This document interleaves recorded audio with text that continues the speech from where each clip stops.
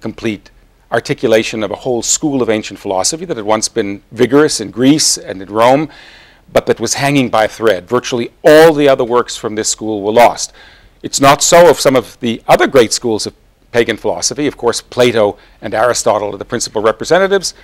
They survived through the Middle Ages, but this account of the world had not survived, had gone underground, and it, for all anyone knew, virtually nothing of it remained. And then all of a sudden, one day it came back, and here's what it said uh, it said that the world consists of an untold number, an infinite number of invisible, unbreakable, indivisible particles, which the Greeks called atoms, and which Lucretius wanted to give it a, a Latin name called the seeds of things.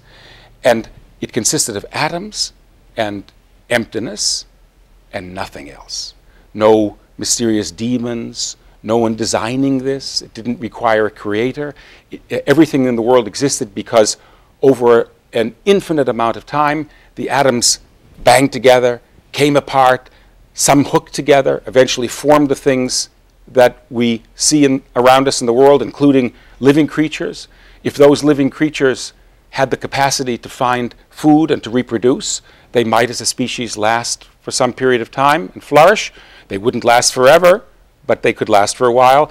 There were, he thought, other kinds of species that existed in the world before we came along. There would be other species after we disappear. The world is not about us. There's no God either looking to punish or reward us. The entire thing happens through an entirely natural process. The and this soul- is what came back yeah. in 1417. The soul is mortal. Yes. There is no afterlife.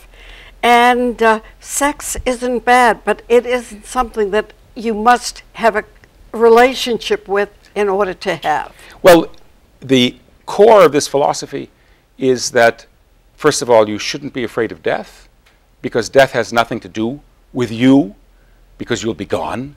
You won't have to roll a stone up a hill. You won't also be rewarded uh, in another world for the things you've done. Anything that you do that means anything you do in the here and now.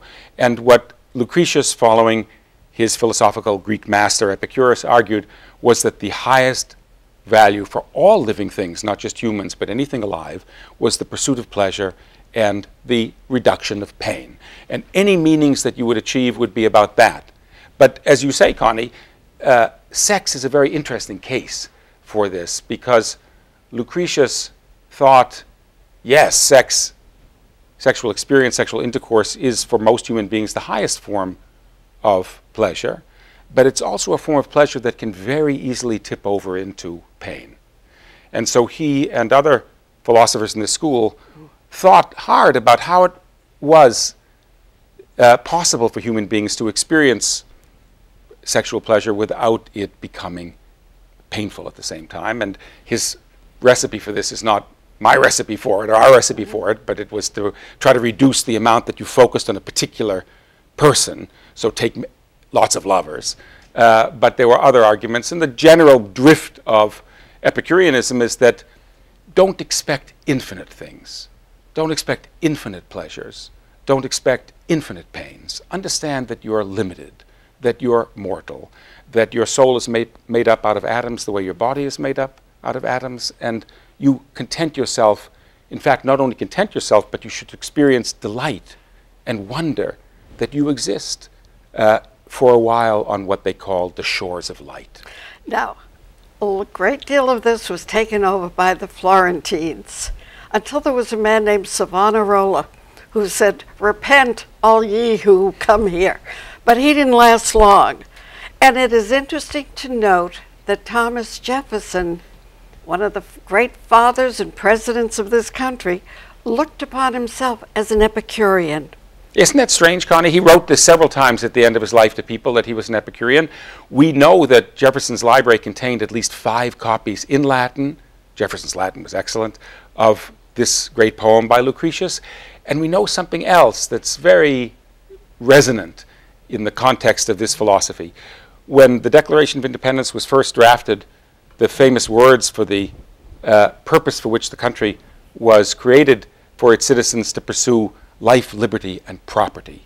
And then there was an argument about that phrase, and Jefferson proposed as the alternative reading, which is the one we know life, liberty, and the pursuit of happiness. Now, that sounds familiar to us because we all have grown up with it, but it's a very peculiar idea in the 18th century. If you go back before then, the pursuit of happiness is not It's not in the Magna principal Carta. goal of, of the Magna Carta, of what Queen Elizabeth thought, of what Charles V uh, believed should be the case for hi- their subjects. That isn't the way the state is organized. For glory, perhaps, for virtue, perhaps, for any number of different things, but happiness. So, where does it come from?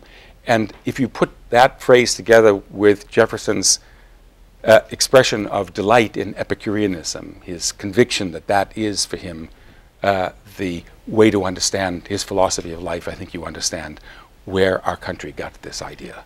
Stephen, you came across this book while you were at Yale, and you said, "Oh, I was going somewhere, and for ten cents, you saw this book in uh, sort of one of those barrels of, of books for kids."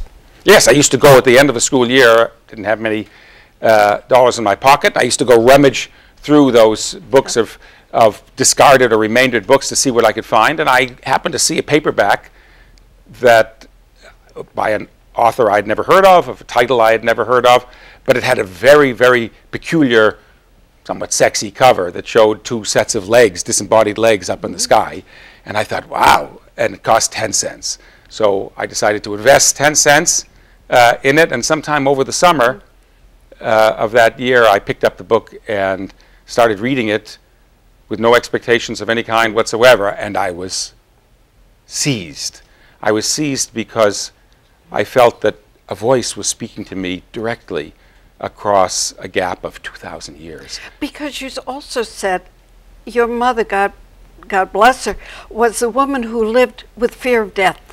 Yes, she terribly. was sure that y- you would never see her if you went off to school and came back. And I have to say, there was a part of me that said afterwards, "How many years in analysis did you spend?" Yes. Uh, well, it's the uh, case that, like most people in the world of our, if not parents, of our grandparents, or great grandparents, and certainly great great grandparents, that whole world experienced death in a different way than we, if we're the least bit fortunate, experience it. That is to say, most of that world, the world before penicillin, the world before our uh, medical aid, uh, experienced grievous losses. In the, my mother's case, when she was at a very uh, sensitive age, uh, she lost the younger sister to strep throat, now so easily cured by penicillin, and it scarred my poor mother, who was a lovely woman and uh, a wonderful mother, but she carried with her a lifelong fear of death, and it was something that uh, hovered over her like a dark cloud, and therefore over me uh, as, a, as her child like a cloud. So when I came late, in this case, in my teenage years, uh, on this poem, it spoke to me very powerfully about being liberated from the gnawing fear of death. Yeah. Gather ye rosebuds where you may. Yes. Um, the other is, how did this book affect you? Has it affected your life? Well, it's been with me ever since, Connie. It's been with me for many, many decades, and I've long thought about the poem. It's one of those places each of us will have a few things in our mind, things that we've read, things we've encountered, that remain like polished stones that you reach and touch uh, at certain moments in your life. So this poem has had that effect on me. Uh, and then at a certain point now, uh, and uh, many years after my first encounter, I decided, all right, I will try to understand why this work is so powerful, not simply for me, but for the world that we inhabit. Did you read it in Latin?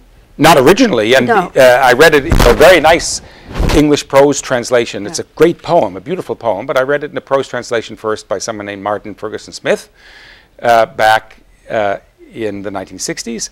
Subsequently, when I became interested in the poem, and certainly when I became interested in working in the poem, I began to work through it in Latin, and my Latin is okay, but it's actually, Lucretius is a difficult Latin author. Uh, one of my Latin teachers was Erich Segal in college, who Oh. wrote Love Story, strange uh, thought. He was a marvelous Latin teacher, so I actually had Latin in college as well as in high school, but I had to actually scramble a bit to be able to read with any in uh, understanding or pleasure this very difficult, very beautiful Latin poem. Stephen, it's a great book. I have to say, anybody who's interested in words, you give the derivation, where it comes from, as well as the fact that people who wrote at that point wanted to imitate Cicero, and they would do, I would tell you, this man is a thief, but.